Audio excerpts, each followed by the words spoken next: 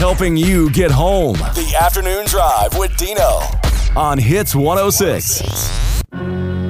Hi, I'm Dino from the Afternoon Drive, and you know, you're never too old to trick or treat. I remember Halloween's when we would trick or treat the day before, we'd go out the day of Halloween, and even the day after. It's true. We'd get off the bus, head home, change into a costume bought from Woolworths or the toy store, and out into the world of ghouls, goblins, and candy we'd go. In about an hour, I would have filled up my little plastic pumpkin with all kinds of candy. Back then, you had to make several trips home to clean out the bag to make room for more candy because you'd be out all night long. And by the way, the occasional apple or fruit pies, we would trade those for Smarties, chocolate bars, and even popcorn balls. Ah, yes, Halloween in Baltimore. I also remember having two or three masks that I would use to get candy from the same house. So, you know, you walk up to the house, trick or treat. Oh, look, it's Spider Man. Here you go. Trick or treat. Oh, it's a clown. Here's the candy.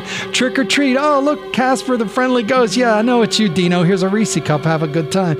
Uh, this year, I'm the one handing out the candy because my Casper the Ghost costume's too small. Plus, I'm not sure how safe those plastic masks were. The ones that had the little holes cut out for the eyes made you feel like you could cut your retina if you weren't careful. Now, I'm not going to hand out fruit. Okay, I hated that as a kid. Trick or treating is about candy, not health food. We have a huge bag of mini candy bars, and those who trick or treat at my house will get at least two or three, unless I eat them all by Halloween. So, look, this Halloween, enjoy a spooky movie. My favorite is George Romero's Night of the Living Dead. It's a classic. Oh, and always check your candy and be safe, will you?